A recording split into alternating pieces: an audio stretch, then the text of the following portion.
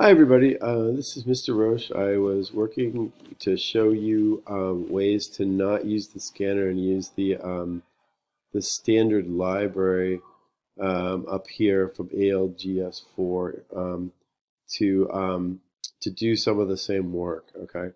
Um, I actually think that this isn't going to be a big problem because you guys are basically going to make random things when you do the percolation assignment, but, but this will help you, okay? So if you want to try, um, try it this way. Um, what's going on is I have a UF class here, right? And um, I'm running a file called um, Tiny Test, which is the test that was shown in the, the description before, okay? Currently I'm using a scanner, okay? But what I can do is there's a there's a, a library that comes with ALGS uh, for it's and there's a thing in there. It's not standard in, but there's a thing called in. So if you go like this in, like we call it in equals um, new um, in, and then what we can do is give it. Um, we're gonna give it one of the string arguments. So we're gonna say this. So we're gonna call it args. Like it's coming from here, so you're gonna say args. Um, zero. Since you got an array of strings, it's going to look like that. Okay. So, and then um,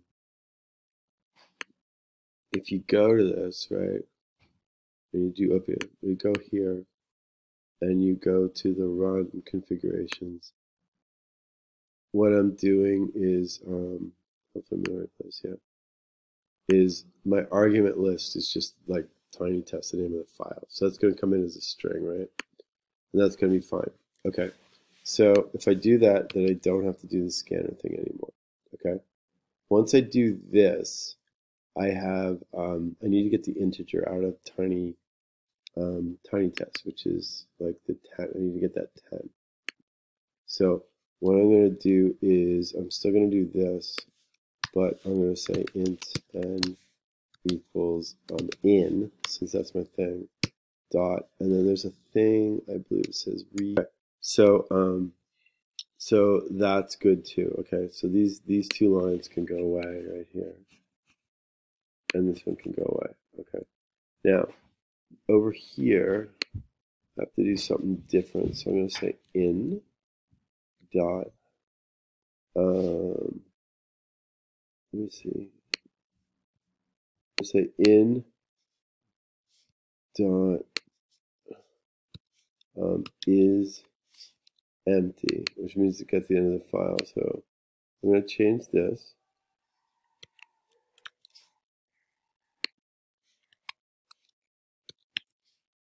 Okay. And then what I want to do is I want to do this while it's not empty. And then I'm just going to do the same kind of thing I did before. I'm going to read p, so we have some int p. And that's going to be in Sorry, this thing keeps um, jumping on me.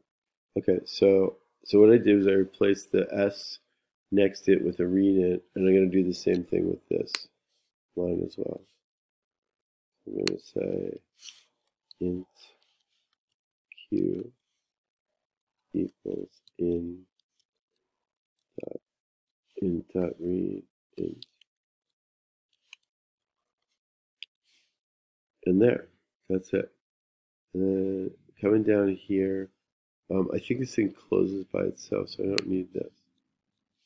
Okay, and that's that's basically how you do this. So what I did was I made a change to this, made a change here, made a change here, and I made a change here.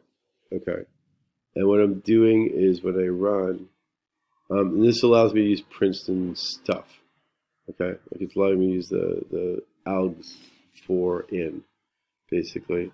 And this will allow the file to get opened up. Um, I did this before, and hopefully it should work fine.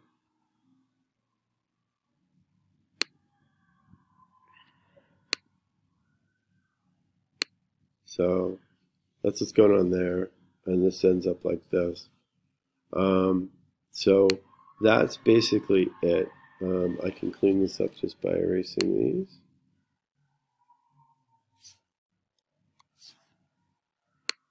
And that's how you use the course stuff to open up your files.